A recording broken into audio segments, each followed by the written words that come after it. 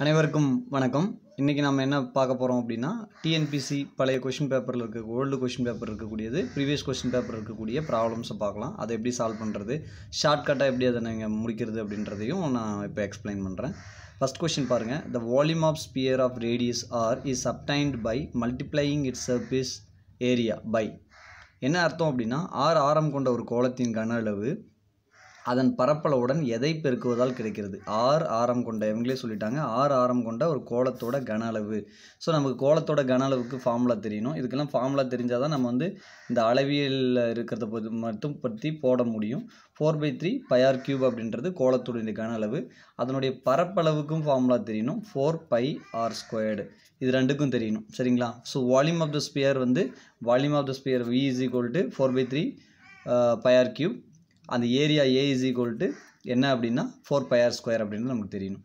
So ஆறு ஆரம் கொண்ட கோலத்தின் கன அளவு அதன் பரப்பளவுடன் எதை பெருக்குவதால் கிடைக்கிறது? நமக்கு பரப்பளவுக்கு ஃபார்முலா தெரியணும் இப்போ இந்த ஃபோர் பயார் ஸ்கொயர் அப்படி இருக்கிறத வந்து four by three pi r cube அப்படின்னு மாறணும். இப்போ நம்ம இதை ஆப்ஷன் பார்த்தனாவே உங்களுக்கு ஆட்டோமேட்டிக்காக தெரிஞ்சிடும். ஃபோர் ஆல்ரெடி இருக்குது ஆப்ஷனில் அதனால் ஃபோர் இருக்கிற எந்த ஆப்ஷனுமே வராது. ஏன்னா மறுபடியும் ஃபோர் வராது இல்லையா? ஸோ த்ரீ அப்படின்றது கம்பல்சரி எங்கே வரணும்? த்ரீன்றது கீழே தான் வரணும். Four by three pi R cube அப்போ இப்போ எதுவுமே வராது. ஸோ ஆட்டோமேட்டிக்காக மேலே ஒரு ஆர் பெருக்கணும். கீழே ஒரு த்ரீ வரணும். ஸோ அப்போது ஆஷ் ஆப்ஷன் பியில் இருக்கக்கூடியது ஆன்சராக நீங்கள் ஈஸியாக சூஸ் பண்ணிக்கலாம். அப்போ நமக்கு என்ன தெரியணும் அப்படின்னா பரப்பளவுக்கு உண்டான ஃபார்முலா என்ன ஏரியாவுக்கு உண்டான ஃபார்முலா என்னன்னு தெரியணும். A is equal to four pi r square அப்படின்றது தெரியணும். வால்யூமுக்கு four by three pi r cube அப்படின்றது என்னன்னு தெரியணும். ஓகேங்களா ஸோ நெக்ஸ்ட் கொஷின் போவோம். ஸோ நெக்ஸ்ட் கொஷினில் என்ன இருக்குது அப்படின்னா இதில் three ninety one divide by six six seven into lowest டேர்மை மாற்றுங்க அப்படின்னு சொல்லியிருக்காங்க. லோயஸ்ட் டேர்மாக நம்ம இதை மாற்றணும் எந்த அளவுக்கு லோயஸ்ட் டேர்மை மாற்ற முடியுமோ அந்த அளவுக்கு மாற்றலாம் எப்படி நீங்கள் இதை இதை நீங்கள் பார்த்த உடனே ச கன்ஃபியூஸ் ஆகும். எப்படி எந்த ஆப்ஷனை சூஸ் பண்ணுறது அப்படின்ட்டு. இப்போது மேலே வந்து நீங்கள் ஃபோர் ஹண்ட்ரடாகவும் கீழே சிக்ஸ் ஹண்ட்ரடாகவும் ஒரு அசம்ஷன் பண்ணிக்கலாம். ஃபோர் ஹண்ட்ரட் இருக்குது கீழே சிக்ஸ் ஹண்ட்ரட் இருக்குன்னு அசம்ஷன் பண்ணிக்கிங்கன்னா இருபது டைம் வந்து டுவெண்ட்டி இன்ட்டு டுவெண்ட்டி போட்டிங்க அப்படின்னா அது ஃபோர் ஹண்ட்ரடாக கிடைக்கும். அதே மாதிரி தேர்ட்டி இன்ட்டு டுவெண்ட்டி போட்டிங்க அப்படின்னா அது உங்களுக்கு சிக்ஸ் ஹண்ட்ரடாக கிடைக்கும். ஸோ அப்போ நியர்லி மேலே வந்து டுவெண்ட்டி கீழே வந்து தேர்ட்டி இந்த ரேஞ்சில் இருக்கக்கூடிய ஆப்ஷனை நீங்கள் சூஸ் பண்ணாவே கிட்டத்தட்ட ஆன்சருக்கு நெருங்கிடலாம். ஸோ எக்ஸாக்டாக நீங்கள் கொண்டு வரணும்னு கூட அவசியம் இல்லை.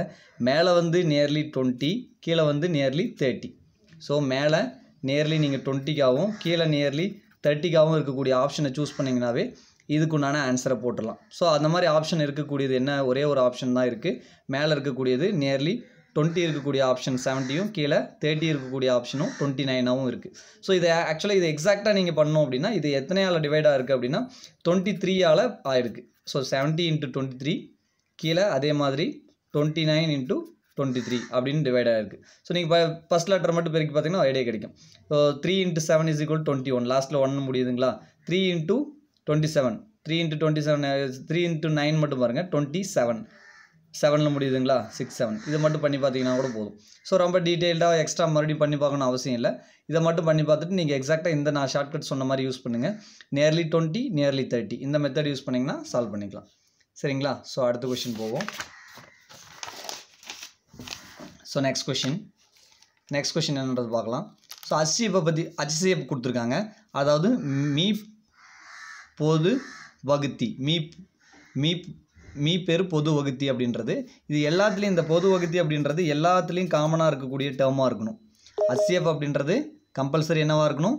எல்லாத்துலேயும் காமனாக இருக்கக்கூடிய டேர்மாக இருக்கணும். ஸோ எல்லாத்துலேயும் வகுப்படக்கூடிய ஒரு டேர்மாகவும் இருக்கணும். எல்லா டேர்மும் டேலி ஆகிற மாதிரி இருக்கணும்.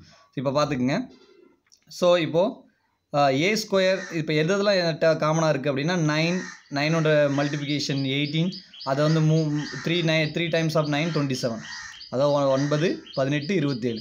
ஒரு ஒன்பது ஒன்பது ரெண்டு ஒன்பது பதினெட்டு ஒம்பது இருபத்தேழு. இந்த மாதிரி போயிட்டுருக்கு.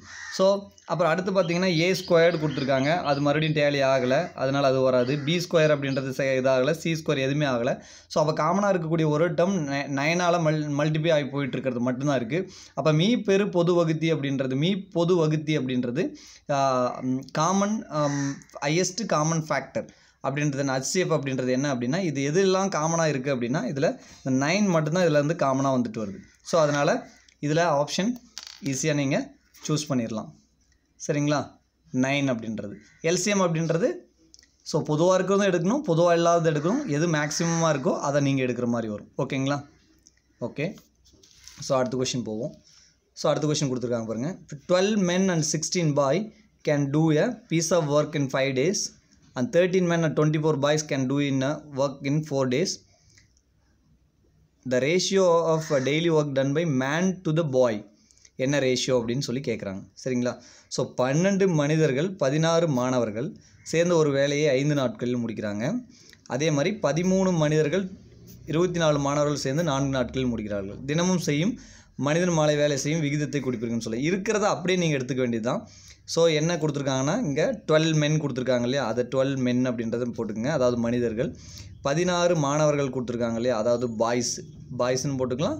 இல்லை இங்கே இங்கே பாய்ஸ்னு சொல்லிட்டாங்க. அதனால் பி கூட சூஸ் பண்ணிக்கலாம். இல்லை ஸ்டூடெண்ட் மாணவர்கள்னால் நீங்கள் ஸ்டூடெண்ட்டும் போடலாம். இல்லை பாய்ஸ் பி கூட யூஸ் பண்ணலாம். ஸோ அதை எத்தனை நாளில் செய்கிறாங்க அஞ்சு நாளில் ஒரு வேலையை முடிக்கிறாங்க. அதே வேலையை அதே வேலை தான் அவ்வேலையை யார் யார் செய்கிறாங்க பதிமூணு மனிதர்கள் ப்ளஸ்ஸு எத்தனை? இருபத்தி நாலு மாணவர்கள். அதாவது பாய்ஸ் சேர்ந்து எத்தனை நாளில் செய்கிறாங்க நான்கு நாளில் முடிக்கிறாங்க. ஸோ இதுதான் கொடுத்துருக்கிற ஸ்டேட்மெண்ட் கொடுத்துருக்க ஸ்டேட்மெண்ட் அப்படியே எடுத்து எழுதுங்க. இதுதான் இது இந்த மெத்தடை நீங்கள் ஃபஸ்ட்டு எழுதிட்டிங்கனாவே நீங்கள் கிட்டத்தட்ட சம் சால்வ் பண்ணிடலாம். ஸோ அப்போ உள்ள அப்படியே மல்டி பண்ணுங்கள் இது அடிக்கிற மாதிரி இருந்தால் அடிக்கலாம் இல்லைனா டேரெக்டாக மல்டி மல்டிபிகேஷன் பண்ணிக்க வேண்டியதான் ஸோ இப்போ அஞ்சால் எல்லாத்தையும் மல் இது உள்ள மல்டி பண்ணாங்க. ஸோ டுவெல்லால் டுவெல் இன்ட்டு ஃபைவ் சரிங்களா? அப்போது டுவெல் இன்ட்டு ஃபைவ் எப்படி ஈஸியாக மல்டி பண்ணால் ஃபஸ்ட்டு பத்தால் மல்டி பண்ண அப்புறம் ரெண்டு. ஐம்பது ரெண்டாக பத்து. அறுபது எம் அப்படின்னு போடலாம்.